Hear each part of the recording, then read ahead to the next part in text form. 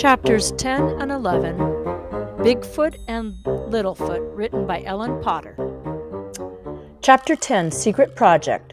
There was no school the next day. That was a good thing because Hugo was busy. All morning long, he worked on his secret project. He only came out of his room for hazelnut pancakes for breakfast, which he gobbled down before hurrying back to work. There he is, working hard. What are you doing in here, Winnie? Um, flung open his bedroom door and squinted at him suspiciously. Stuff, Hugo said. Stuff? What kind of stuff? Winnie asked, planting her hands on her hips. Hey, Winnie, guess what I found? Hugo said. What? she asked, perking up with interest. Your nose, Hugo said. It was in my business again. Ha ha, Winnie said and slammed the door. Finally, just before lunch, Hugo finished. He held up his creation and inspected it.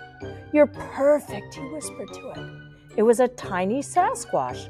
Hugo had carved it out of white pine. It was almost exactly the size of the human toy, but much more detailed.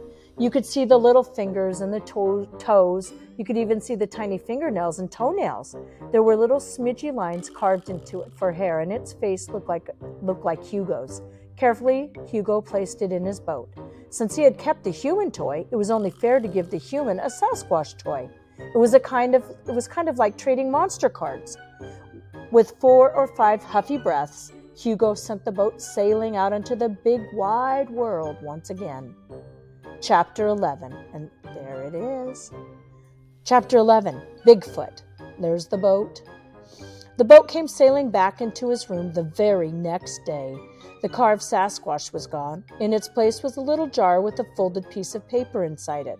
A note! A note from someone in the big wide world. Hugo unscrewed the jar's lid. He tipped the jar upside down and shook out the note, then unfolded it. This was what it said my name is Boone. I'm almost 10 years old. I'm small for my age, but my grandma, grandma says I'm faster than a sneeze through a screen door. Do you believe in Bigfoot? Boone. Hugo reread the note a few times. The last question puzzled him. What was Bigfoot? Sounded like one of those monsters in Mad Marvin's monster cards, but he'd never seen a Bigfoot card. How can I answer the note if I don't know what Bigfoot is? he thought. Then he had an idea. He jumped up and ran out of his apartment. He ran down the long, winding cave hall to apartment 1B and knocked at the door.